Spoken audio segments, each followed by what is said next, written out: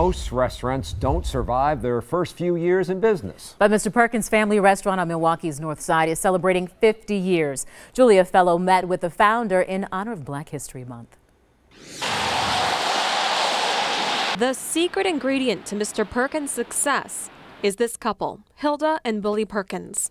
We tried to treat everybody the way we would want to be treated. Thank you, my brother.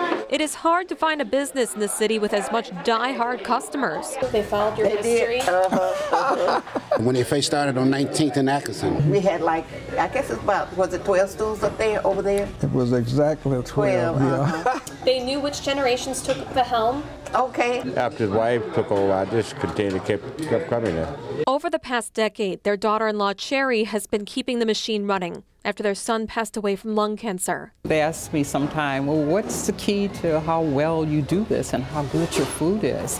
And I said, I prepare everything I do with lots of love.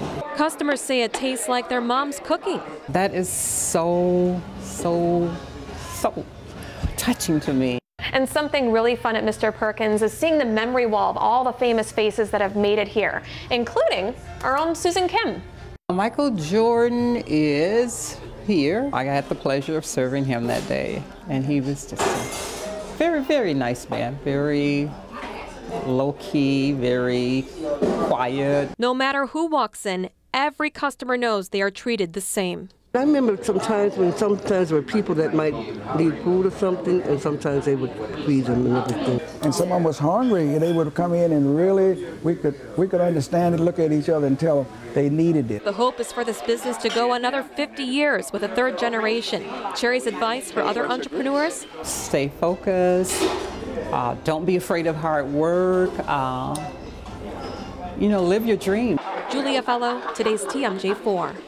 The African American Chamber of Commerce awarded the family with the Legacy Award. They officially celebrated 50 years in business this May.